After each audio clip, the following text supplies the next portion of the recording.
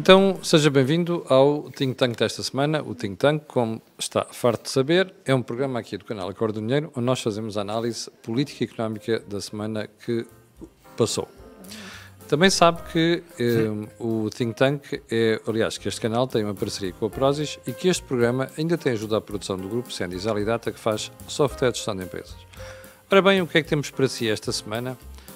Todas as decorrências daquilo que se passou com a visita do Papa a Portugal, nomeadamente a propósito das Jornadas Mundiais da Juventude. E temos aqui dois pontos. O primeiro, a capacidade de mobilização da Igreja e o que isso mostra quando se compara com a falta de inovação nos assuntos políticos. A visita do Papa e as JMJ, ou seja, as Jornadas Mundiais da Juventude, mostraram isso mesmo esta semana. O segundo ponto é uma interrogação. O trabalho de igreja pode servir de inspiração para os partidos? Este é o ponto de partida da conversa de hoje e eu vou começar pelo Joaquim Aguiar. O Jorge Marrão está à distância, como já percebeu. Joaquim Aguiar, hum, isto serve de inspiração para alguma coisa, o que se passou esta semana? Ok, Camilo, o que se passou esta semana acho que surpreende toda a gente, a começar pela própria Igreja, que também não estaria à espera de tão grande a sucesso. pensar que isto seria possível. Sim. Porque o que é que foi possível em termos de tal mobilização?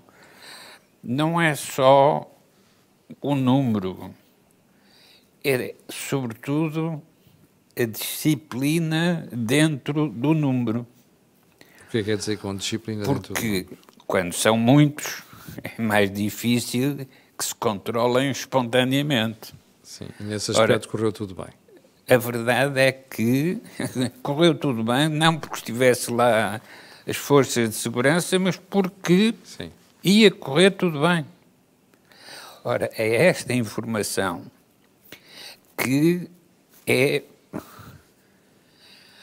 relevante para quem pensa nos movimentos políticos. Porque a minha geração assistiu à frase do Nietzsche: se Deus está morto, tudo é permitido. E agora o que se verifica é que, afinal, a notícia da morte de Deus era prematura. Muito exagerada. Muito exagerada e, e, e, vamos ver agora o que é que são as consequências de se verificar que, afinal, não tinha morrido. Uhum.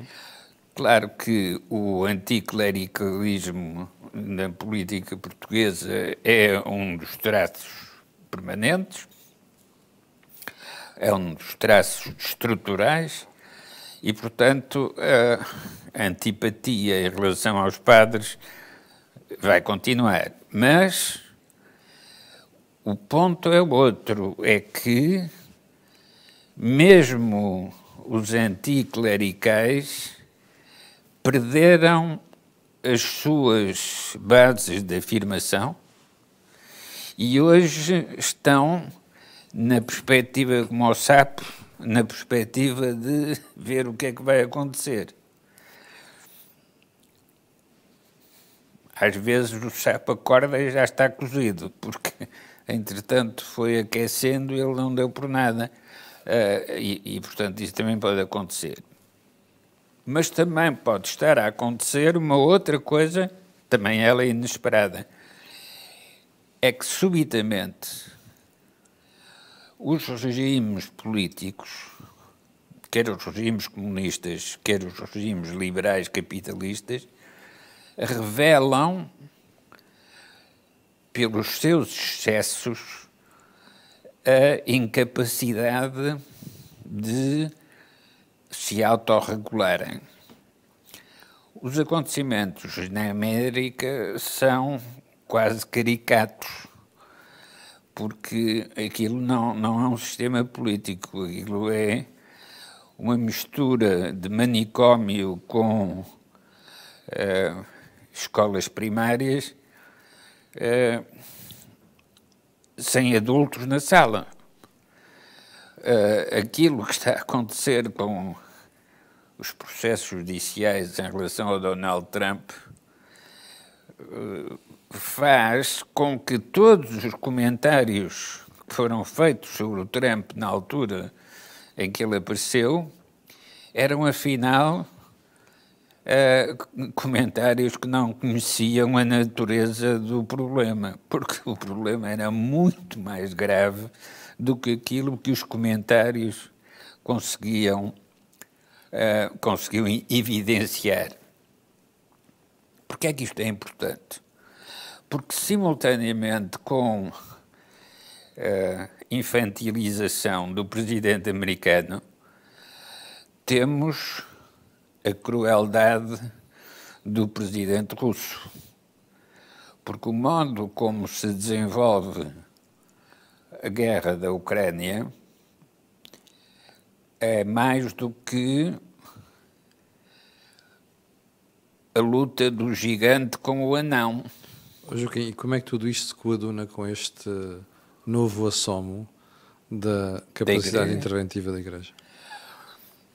O Camilo, pode estar a acontecer um jogo de compensações que é quanto mais a política deixa de responder aos problemas da sociedade, mais a Igreja ocupa esse espaço, que já foi dela, aliás, mas, mas foi sempre assim, ao longo da história.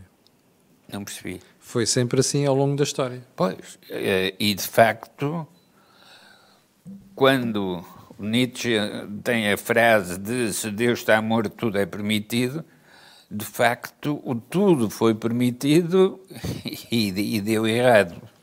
Isto é, o excesso de permissividade acaba por desordenar as sociedades. E hoje o que se verifica quando os jovens manifestam uma capacidade espontânea de organização, ou quando o Papa utiliza a expressão do todos, uhum. é, o, que, o que nós verificamos é que isto está para lá das ideologias conhecemos no, na política atual. Isto é, estão-se a abrir novas avenidas perante as vielas que não permitem mobilidade. E, portanto, o sistema partidário antigo está metido em vielas estas novas avenidas que se estão a abrir obrigam a, repensar tudo. Joaquim, mas quando nós, durante cinco dias, ouvimos o Papa Francisco fazer diversas intervenções, umas diretamente em missas e outras em eventos que se pode dizer mais ligados à sociedade civil. Um, em todos esses momentos, ele passou mensagens que não foram apenas mensagens religiosas, foram mensagens até com conteúdo político. Ora, eu não me lembro de ver nenhum Papa conseguir fazer isto desde os tempos de João Paulo II. Esta capacidade que ele teve, do ponto de vista comunicacional e também de identificação dos problemas, porque se percebeu claramente que aconteceu isso, assim surpreendeu? Não. Vamos ver, o João Paulo II é um dos responsáveis de primeira linha do colapso da União Soviética. Claro, por isso é que eu digo que ele teve um papel político fortíssimo. Mas não tão visível como agora está é a ser. Exatamente. E agora está a ser visível, muito visível, justamente porque uh, os sistemas partidários estabelecidos deixaram de conseguir responder às questões que o Presidente coloca. Sim. E, portanto, é porque a política recua que a Igreja avança. A Igreja não tem um pensamento político, mas tem um pensamento da sociedade. Sim. E quando a política enfraquece, a sociedade ganha mais relevo, Uh, e, portanto. Que é o que está a acontecer neste É o que está a acontecer. Isto é, há uma renovação da política pela mão da Igreja. E é nesse sentido que voltamos aos tempos da Idade Média avançada, que é quando a política ganha uh, expressão uhum. e com o projeto de eliminar a Igreja para só ficar a política. Eu já vou voltar a esse tema, me parece muito interessante, mas deixe-me só tentar trazer o Jorge Morrão, que continua à distância, uh, à emissão. Jorge, vai a mesma pergunta para ti.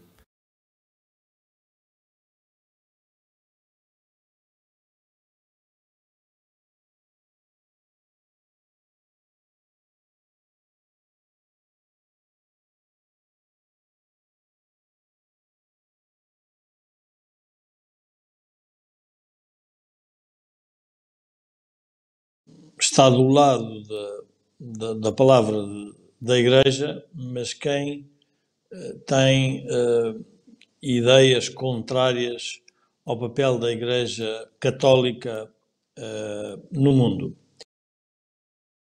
Gostasse de, de comentar este tema, introduzindo, isto, introduzindo de uma forma jocosa o que se passou com os comentadores nacionais uh, no início sobre, este, sobre as jornadas mundiais. Eu tenho um filho, tem um cão, um Jack Russell, e o, o Jack Russell é um cão que eu desconhecia, um cão pequeno, que quando sai à rua atira-se aos cães grandes e, portanto, ele não percebe que é capaz, vai perder a luta. E um dia, em conversa com um, um veterinário especialista, especialista em cães, em cães ele disse que aquele cão tem uma característica única, tem um ego maior que o tamanho. E, e o que aconteceu em Portugal foi que o ego dos comentadores nacionais é, era muito maior para aquilo que estava a aparecer pela frente, que foram as jornadas, as jornadas Mundiais da Juventude.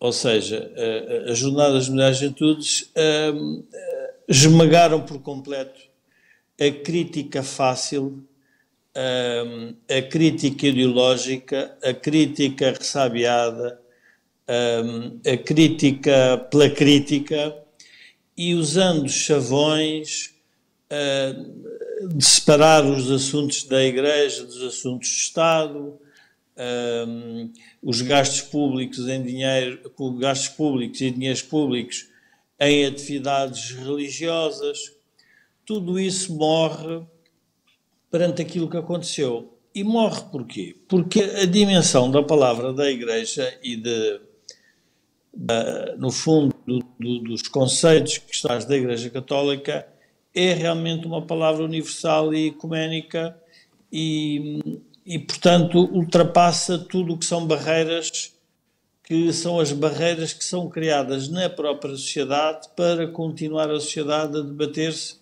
com os mesmos assuntos. E o Papa faz aquilo que foi a discussão da separação do Estado da Igreja. Qual é a lei universal do mundo? Ou a lei universal de um país? É a lei nacional constitucional ou também uma lei que é a lei de Deus que nos uh, obriga a todos a pensar de forma diferente?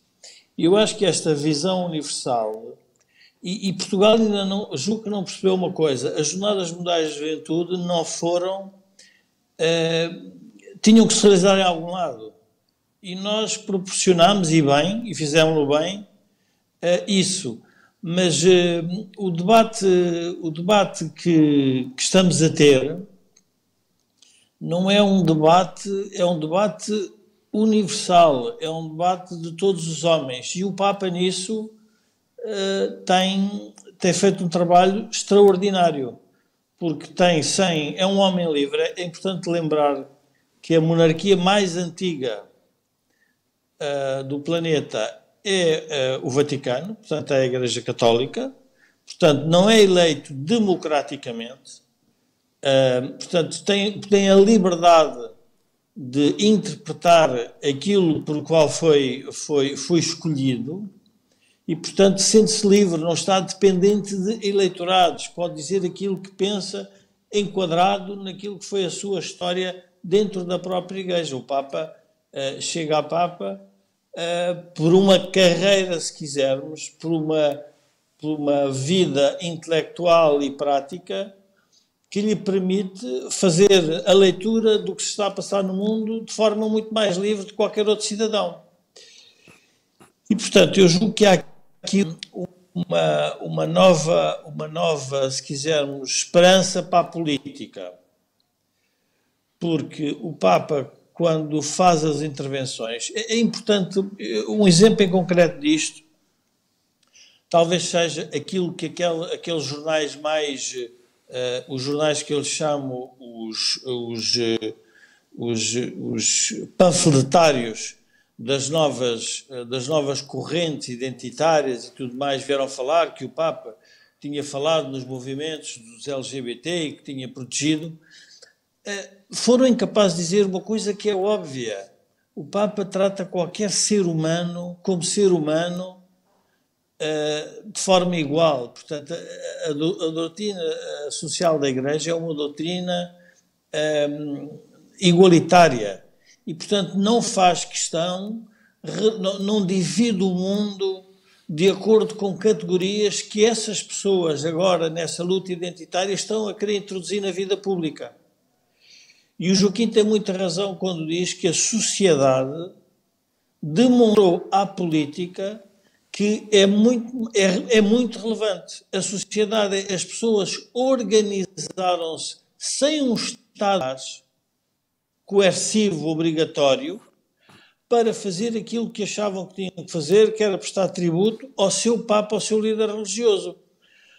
Uh, dizia, um, dizia um espectador escrevendo aqui no Think Tank que a CNN chamou-lhe o Woodstock é uh, da Igreja. É mais uma tentativa de distorcer o que se passou quando um, um, aquele número de pessoas para tributo ao seu líder religioso nada mais está a fazer do que é respeitar e, querer estar próximo do seu, uh, daquilo que personifica os valores da comunidade e que por isso é que estão todos juntos a querer ver o seu Papa.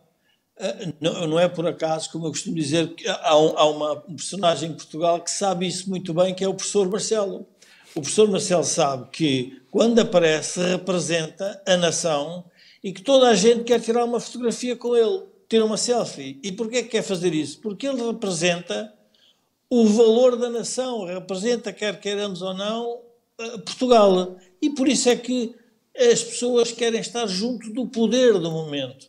E nada disso é errado. Mas não, querem distorcer, dizer, não, aquilo foi uma, foi uma, é um turismo de massas, é uma, é uma, é uma, é uma, uma, uma visão distorcida da. É como se toda a gente quisesse uh, participar num ato público para se exibir a si mesmo. Nada disso.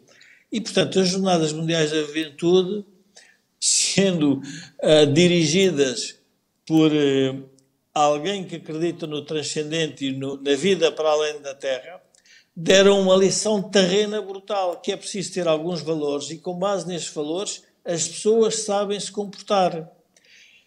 Era interessante ver a, a, a, a crítica, o, comentari, o comentariado nacional, a querer que aquilo corresse mal, criam incidentes, criam problemas.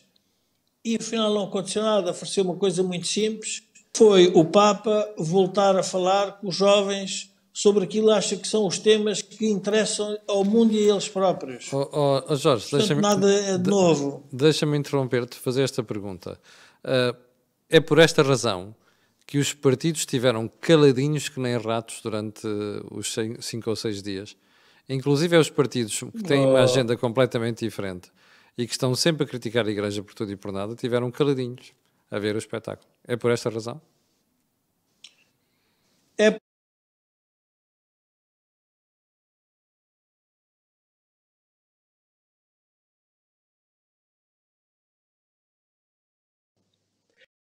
E depois introduziram uma coisa, mas temos que pensar, ao Camilo, que nós estamos a falar nas Jornadas Mundiais da Juventude. Aquilo é o mundo em Portugal. É como se nós estivéssemos a assistir a uma, era uma missa, se quisermos, era uma missa papal em Roma que se realizou em Portugal, dirigida só à juventude.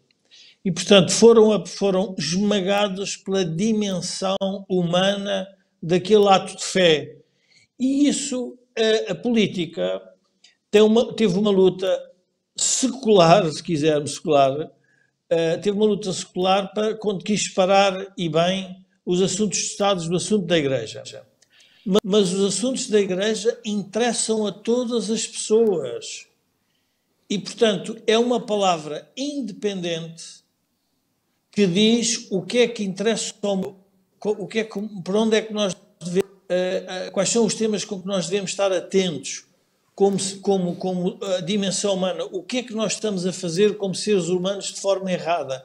Nós estamos a discutir a, a economia, estamos a discutir a redistribuição, estamos a discutir uh, assuntos estratégicos, estamos a discutir o Sistema Nacional de Saúde, estamos a discutir o Sistema Nacional de Educação.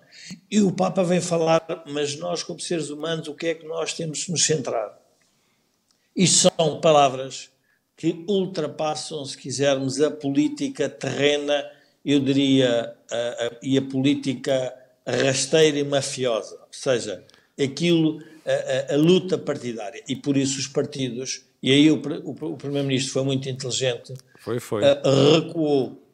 Eu acho que ele, ele leu, eu com certeza que ele leu Maquiavel e Sun Tzu, e sabe que quando um, alguém está a ganhar, um, uma luta, se calhar o melhor é recuar um bocadinho. Sim, e, e reparem, o, o, tema central, o, diz, o tema diz, central diz. Que, eu, que eu achei, o tema central que eu achei interessante foi um, o que é a versão do poder do Partido Socialista personificado António Costa. Um partido que andou a lutar pela eutanásia, em que o Papa volta a falar no assunto, os jornais só pegam no assunto LGBT, não pegam no assunto eutanásia. É verdade. É e verdade. o Primeiro-Ministro fica silenciado. Portanto, isto é, isto é, é, é, é hilariante. Ou seja, aquilo que o Papa atacou na política, o, o, o Primeiro-Ministro recua. Porque foi o Primeiro-Ministro que quis tratar desse assunto com o seu partido e os partidos eh, mais à esquerda. E na, nos assuntos LGBT estão mais a vacilar, de repente nacional, o Papa afinal é um Papa de esquerda, é um, é um Papa marxista, ou seja, a ideia de capturar o Papa pela política morre com as próprias palavras do Papa. Sim, oh Jorge, deixa-me... João Paulo II... De, deixa, deixa-me interromper aqui, porque uh, eu tenho um, um, aqui um texto que li hoje no Diário Notícias que eu acho que exemplifica aquilo que é a reação de certas personalidades àquilo que se passou. E é um texto da Fernanda Câncio, cujo título é Todos, oh, Todos, Todos, e depois tem uma chamada que diz assim: Hábil líder político e bom comunicador, Francisco teve nesta ação de propaganda a inestimável ajuda dos mídias nacionais, quer na interminável cobertura, quer na abordagem totalmente acrítica num misto de ignorância, histeria e irreferência de tudo o que disse. Queres comentar? Oh, oh Camilo, o, o, mais estranho, eu uma vez sobre o que Fernanda Cássio diz, não, enfim, não vou, não vou andar com muitos comentários porque não, não, eu, eu gosto de bater ideia, não gosto de bater ideias porque são emitidas por certas pessoas. A ignorância sobre o papel da Igreja na civilização ocidental foi demonstrada pelas Fernandas Câncios deste país. Ou seja, nós estamos aqui hoje, como sociedade e como civilização ocidental, por causa do papel da Igreja, dos filósofos gregos, gregos e da República Romana. Foi a confluência de três ou quatro uh, instituições que, que, que nos deram esta dimensão diferente no mundo. Isto é, a civilização ocidental tem na sua formação, na sua gene, a cultura cristã, a maior, diria, a maior inspiração, se quisermos, moral e cultural, a chegada da moral à lei, a chegada da moral à política, tem a ver com a própria Igreja. E quando essa gente formada, uh, como eu digo, na, na, na, na rebeldia católica, porque uh, na altura havia um pacto entre António Oliveira Salazar e o Cardeal Cerejeira sobre o que é que era o país, a nação e a religião, ainda hoje estão agarrados a isso e onde já passaram, estamos a falar quase passado um século sobre a formação do Estado Novo e ainda vêm com o mesmo discurso. E, portanto, é, é óbvio que depois as pessoas no terreno a fazer isso.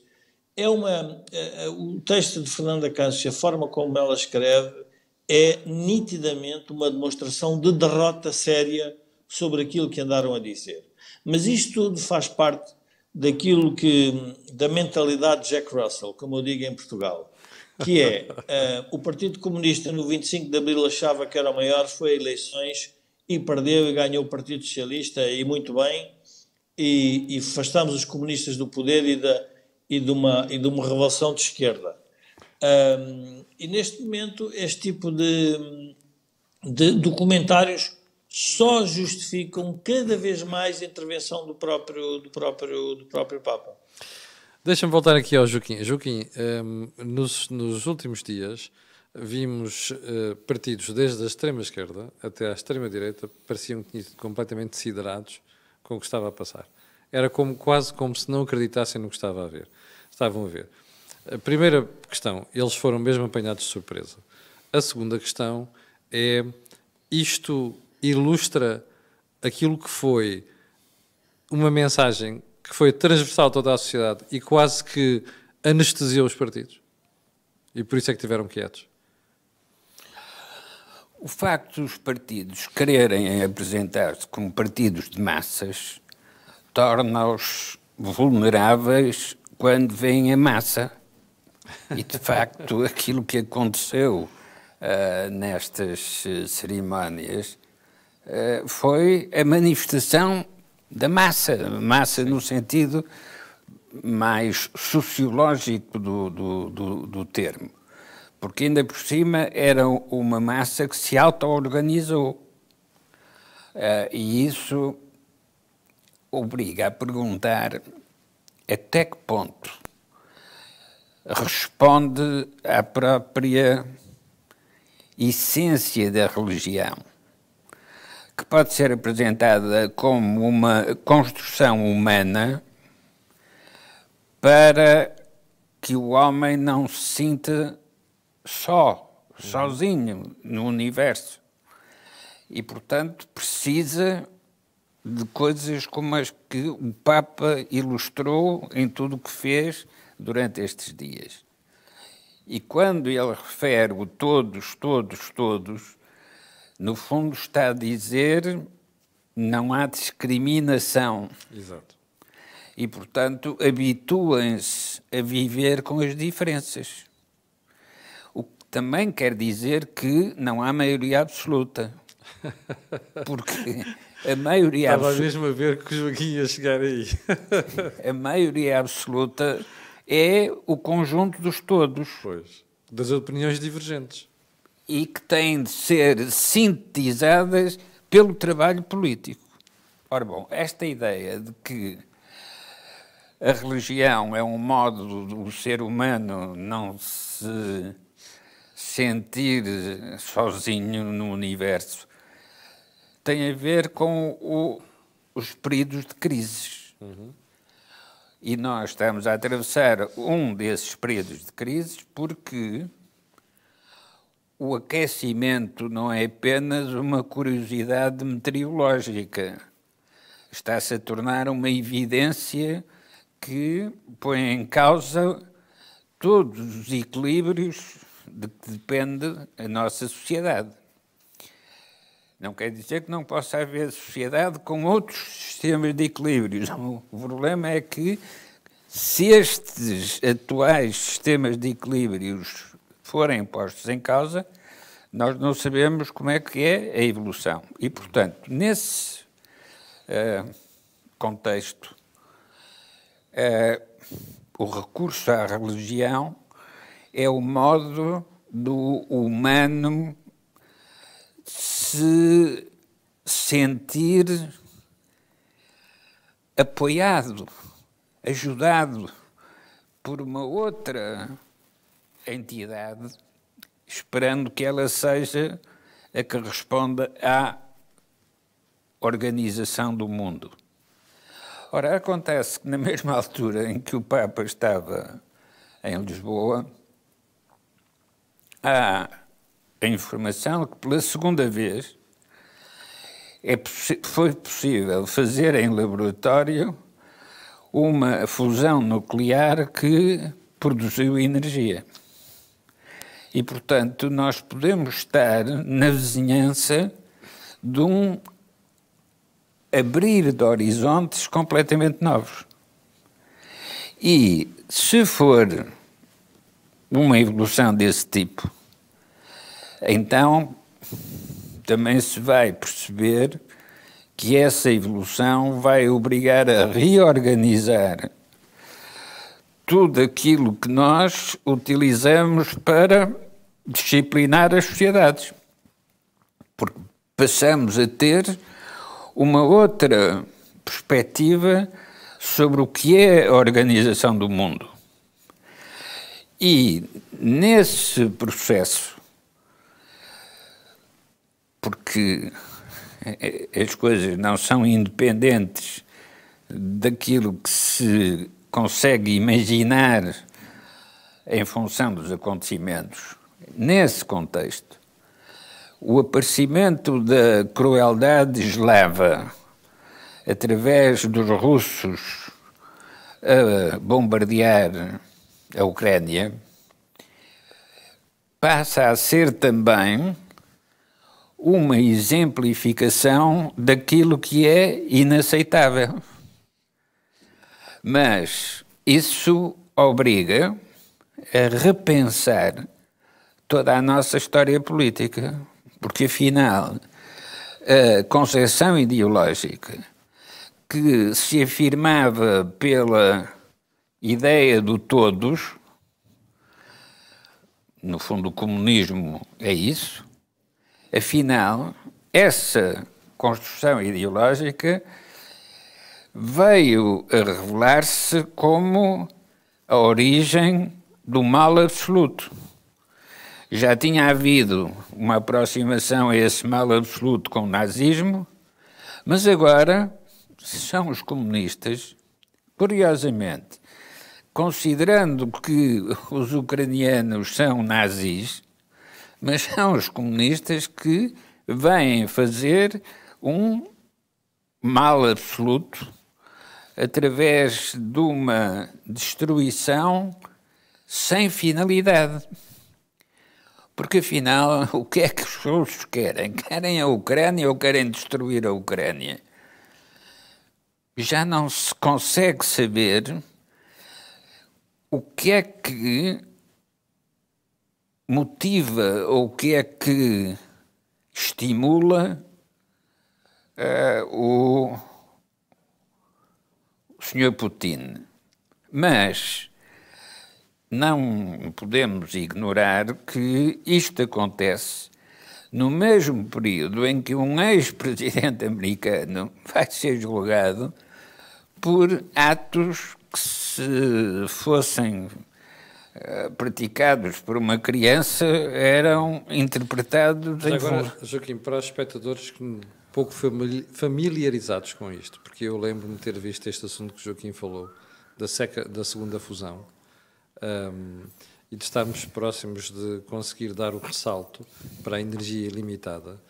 Eu tinha visto na manchete ontem do Financial Times e, curiosamente, não vi mais jornal nenhum a fazer. Aliás, nós temos a imagem, vou pedir a Regi para pôr no ar e é de facto estas preocupações que são assuntos tão estes que o Joaquim estava a falar. Joaquim, mas voltando à questão que estava agora a, a referir, uh, que tem a ver com uh, os Estados Unidos e, e, e, e, no fundo, a polarização das sociedades.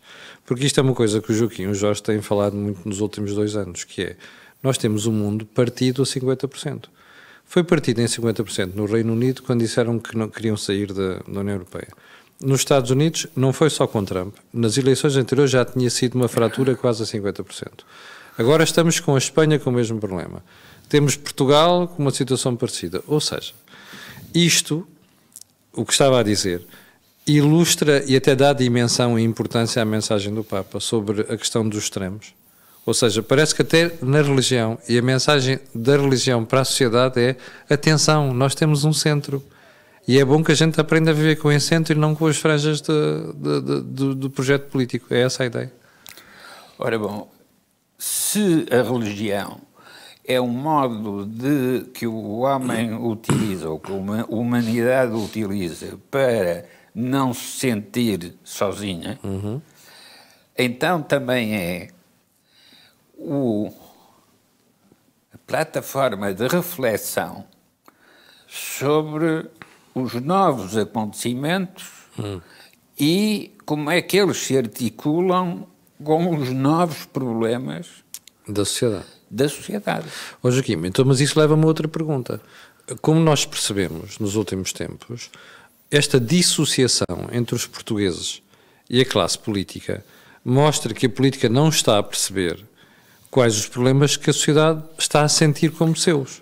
Porque o que acontece é que a política fica presa quando conquista o poder. Sim. E deixa de se interrogar sobre como é que o poder se estrutura e consolida. Uhum. Portanto, quando a única coisa que a política quer é continuar o poder que tem, então perde a ideia do Papa do todos, perde a ideia de. Outra ideia que o Papa também sublinhou é quando alguém cai, o que tem de fazer é levantá-lo. Ora, esta perspectiva de responsabilidade do todos, porque no fundo todos ficam responsáveis pelos outros, então acaba por nos reconduzir a uma nova concepção da política, que deixa de ser a concepção de nós contra os outros, ou a concepção da bipolarização, a, a concepção de que a política é a identificação do inimigo uhum.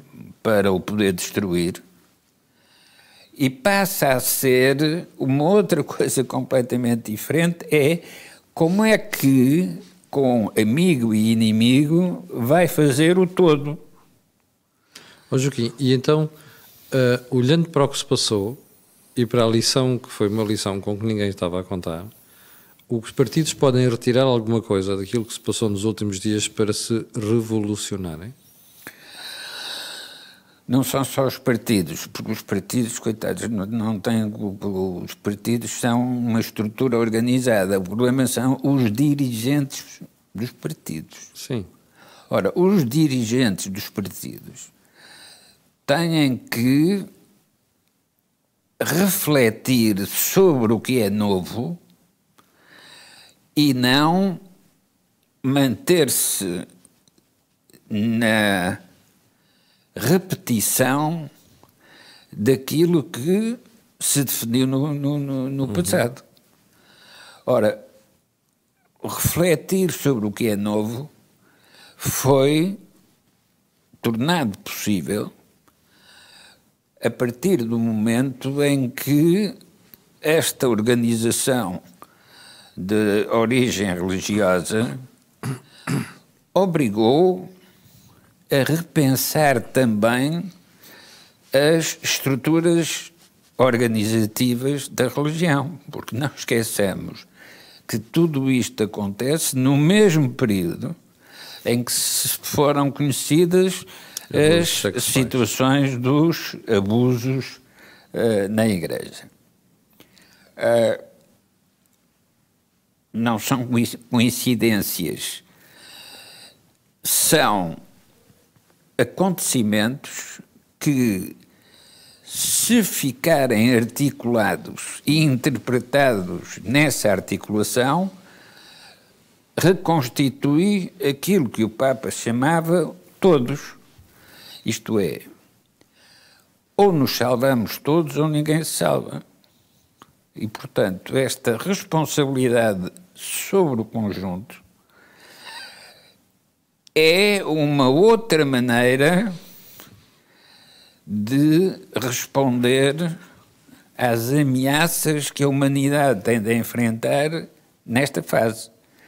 E não esqueçamos, dentro desse modelo de ameaças, está uma coisa chamada arma nuclear, quando há um dirigente que tem acesso a essas armas nucleares que tem repetido a ameaça de, se estiver a perder, utilizará essas armas uh, destruidoras. Deixa-me voltar ao Jorge. Jorge, hum, a mesma pergunta vai para ti.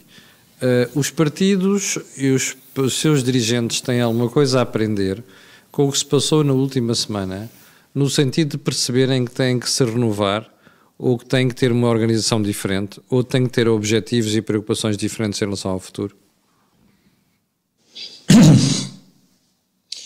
Na lógica da separação do, do, do, Estado da Igreja, eh, eu diria que são, irão trabalhar em, em, em plataformas diferentes.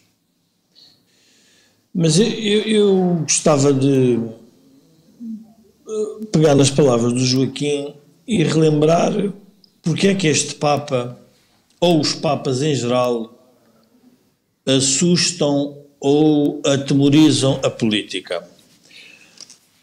Porque quer tomar conta dos assuntos dos homens de forma totalitária, através do poder da lei e do Estado um Papa apela à consciência individual de cada um de nós, um Papa católico, à consciência individual de cada um de nós em relação aos outros.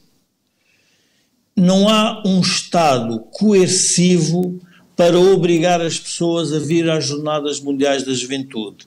Não diria, não há uma, não há uma organização militar por detrás da, do Vaticano o Vaticano é uma instituição com os seus homens, e os seus homens cometem uh, os erros e os pecados que todos nós, como humanos, cometemos, e, portanto, são julgados também na praça pública por causa disso, mas nós não devemos confundir, uh, e isso, a mensagem é muito clara, não devemos confundir isso com a própria instituição, porque isso seria distorcer. E isso, o que eu diria, a linguagem mais básica que quer trazer para este debate.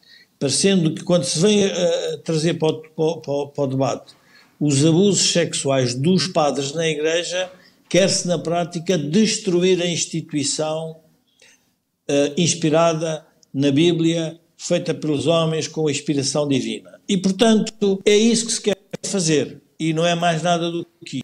E, portanto, nós temos uma outra religião, que as pessoas que estão a, estão a fazê-lo sem se aperceberem, que são os que não acreditam em não acreditam no Deus na versão católica ou cristã. E, portanto, esses têm outra crença. A crença deles é que os assuntos dos homens se resolvem todos num parlamento. O que o Papa vem dizer, como ser humano, é que não é assim e por isso é que ele é uma fonte de inspiração, porque obriga a política a mexer-se para um caminho diferente. O Joaquim há pouco dizia, disse uma expressão que é muito interessante, o Papa veio referir que é preciso referência, mas o Papa não veio dizer que é preciso uh, uh, uh, legislar sobre a igualdade, que somos todos iguais. Senão nós temos que respeitar uns aos outros como somos.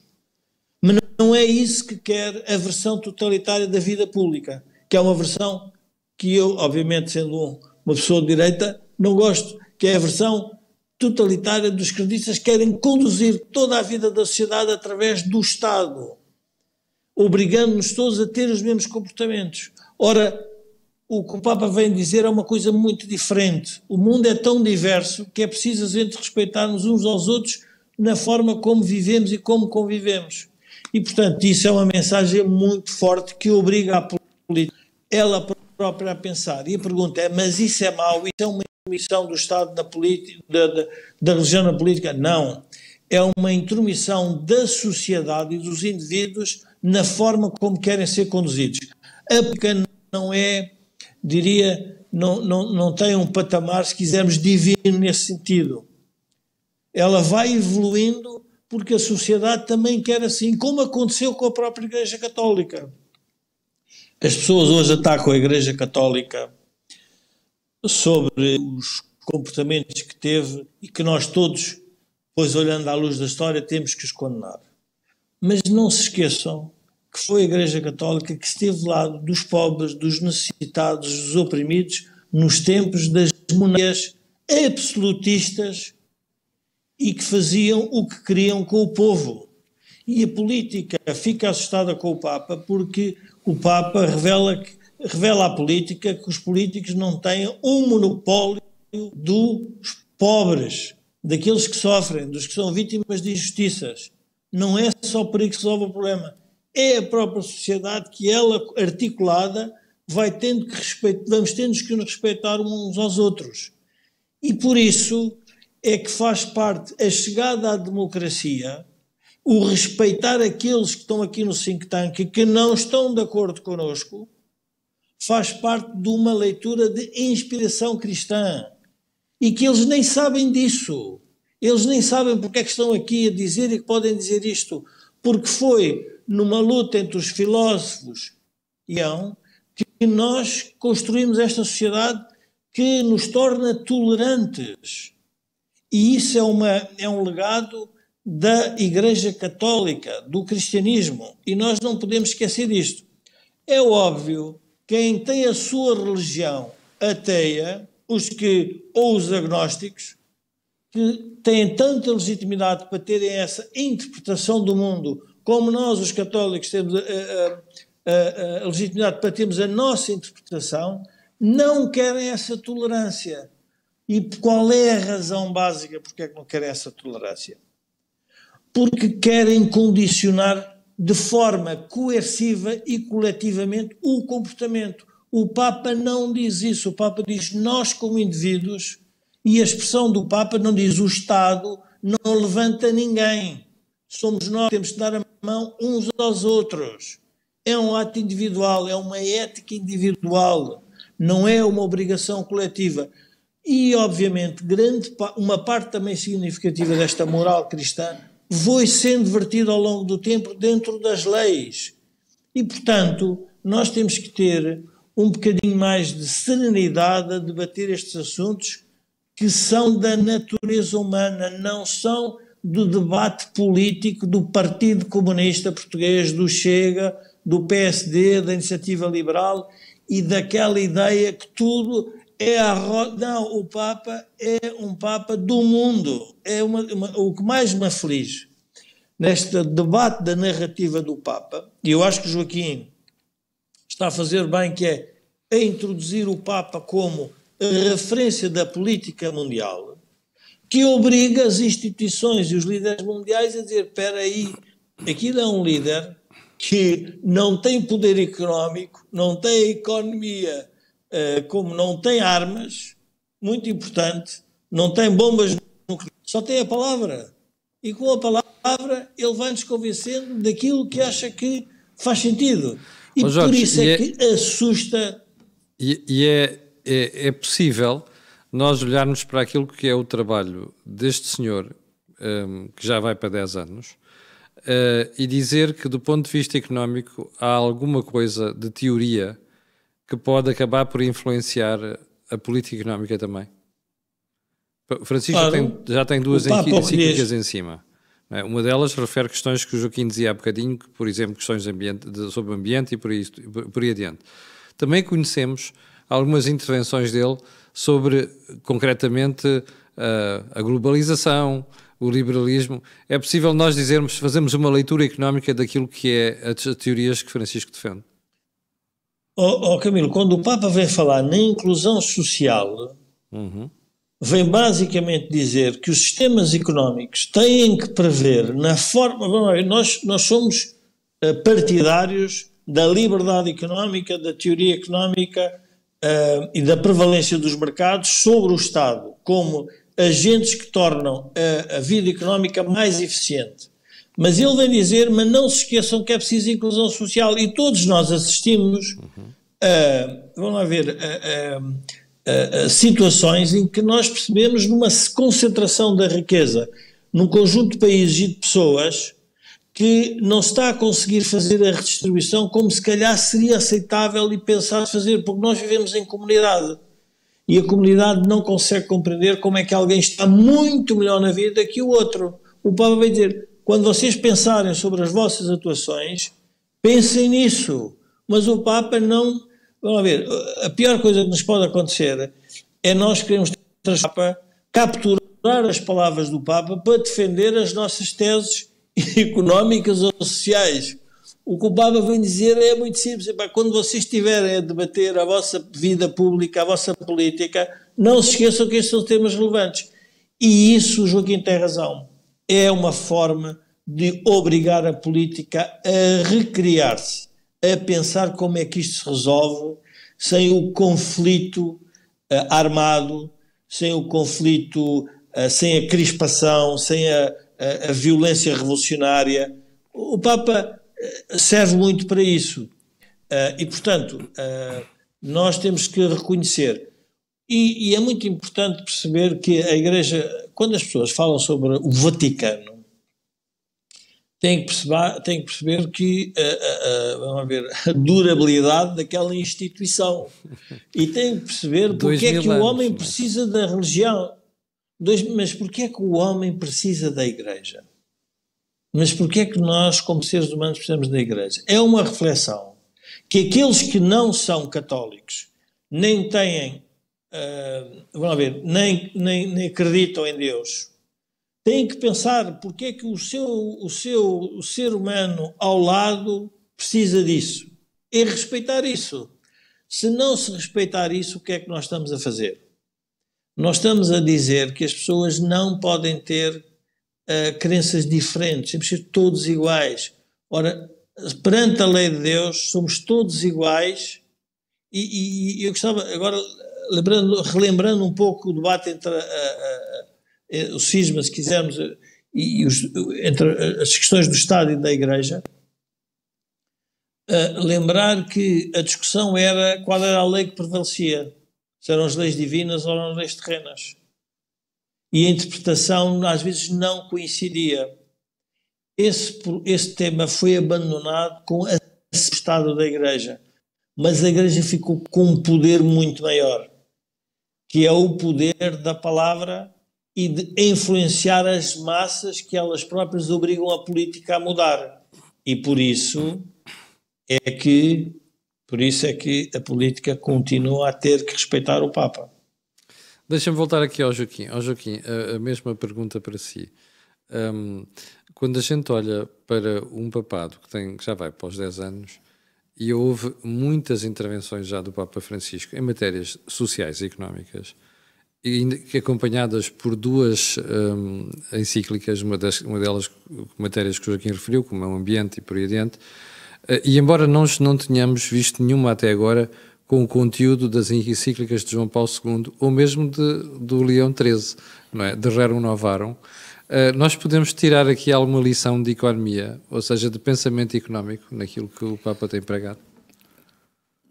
Sim, pensamento económico dentro da economia política, Sim, isto é, exatamente. a articulação da economia com a política. Uh, e, e, sobre isso vale a pena refletir uh, na utilização pelo Hegel do conceito de sociedade civil. Uhum. A sociedade civil, com o Hegel, não é o contrário do Estado, é o contrário da Igreja. Exatamente. Isto é, é a libertação da sociedade uhum. dos pensamentos dogmáticos dos organizadores da Igreja. E, portanto, foi uma fase da evolução da humanidade em que se sentiu a necessidade de se afastar do dogmatismo da Igreja para poder beneficiar dos desenvolvimentos da ciência. Uhum. E, portanto, uh, não podemos ser manicaístas no sentido de ou padres ou cientistas. Não, as duas coisas estão articuladas. Quer o Pascal, quer o Descartes, vieram da Igreja. E, portanto, quem refletia eram os que estavam nas ordens religiosas, que também eram os que construíram as estruturas imperiais uhum. e a expansão dos europeus pelo mundo. Espalhando a fé. Espalhando a fé e espalhando a construção do império. Exatamente. É? Ora bom, eh, quando estes ensinamentos históricos são usados, é porque a própria história reproduz os contextos em que estes conceitos são necessários.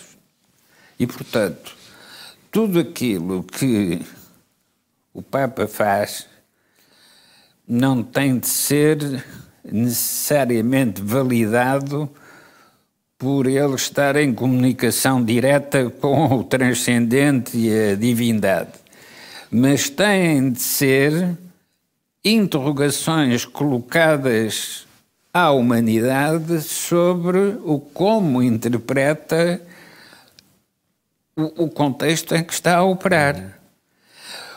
Portanto, não vale a pena ficar à espera que Deus resolva os nossos problemas.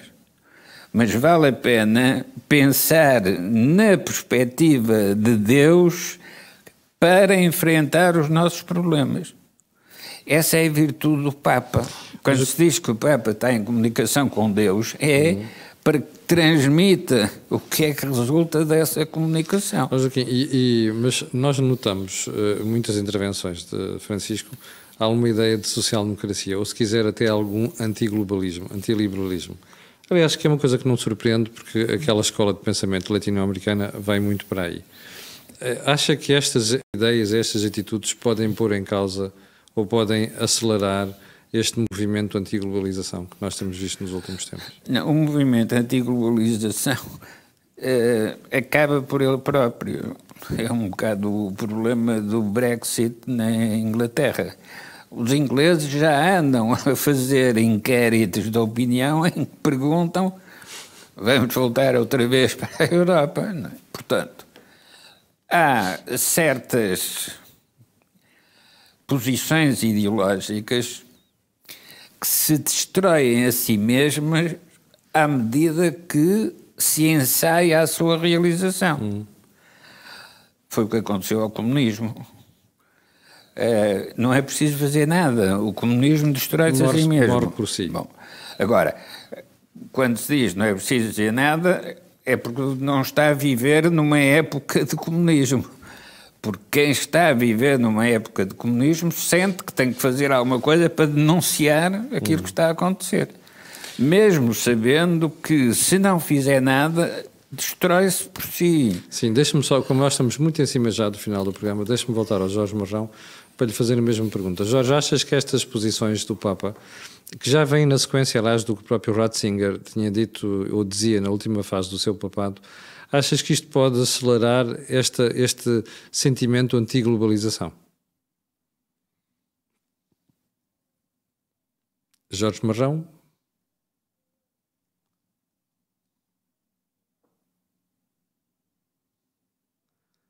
Jorge Marrão? Sim, estão a ouvir agora? Ok, sim. sim. Estão a ouvir agora? Sim. Ah. Um, o, o sentimento anti-globalização é um, um, um sentimento que nós temos que respeitar e observar, porque ele é, esse sentimento é consequência das diferenciações e disparidades que começam, que existem entre países, entre regiões, uh, entre nações, e sempre foi um tema uh, que conduziu, se quisermos, os negócios públicos mundiais. Uh, tornar o sentimento de antiglobalização numa ideologia, julgo que essa não é, ou pelo menos não interpreta as palavras do Papa nesse sentido. O que ele alerta é que é preciso que a política global perceba o que é que a globalização está a trazer relativamente aos diferentes países. E, e portanto, se nós, eh, se nós juntarmos o nacionalismo crescente e nacionalismo económico e o sentimento anti-globalização, nós podemos estar à beira de, um, de uma do, de algo que seria contrário à ideia do Papa, que é a vida das pessoas pode piorar pelo facto de uh, as fronteiras fecharem. O, o, que ele quer pôr no. É, é como se uh, o Papa, Papa de, do mundo, e não o Papa das Jornadas Mundiais da Juventude no Tejo, porque isso é, é redutor, sendo um Papa do mundo, o que o Papa diz é dediquem-se à globalização, porque a globalização é um tema que tem que ser resolvido. Os temas da imigração foram, e bem, um, um, ressalvados pelo Papa, foram ressaltados nos seus discursos. E, portanto, o Papa nessa matéria eu acho que tem um pensamento relativamente linear e cristalino.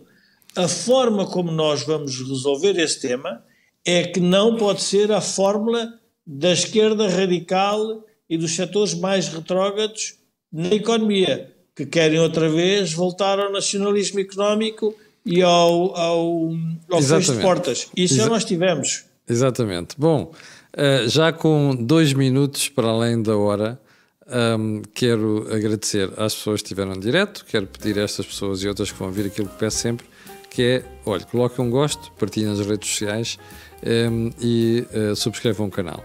Já percebeu que chegamos ao final do, do programa desta semana.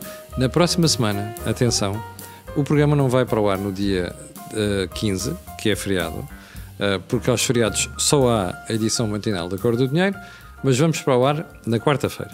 E, portanto, na quarta-feira, dia 16, por volta das 17h30, estaremos de novo aqui convosco. Eu não quero terminar a emissão de hoje sem fazer referência àquilo que é a relação do canal com a Prozis, mas também uh, dizer que este programa tem ajuda à produção do grupo Sem Disalidade. Agora sim, fique bem, ver-nos na próxima quarta-feira, quanto a mim e si, amanhã às 8 da manhã. Muito obrigado.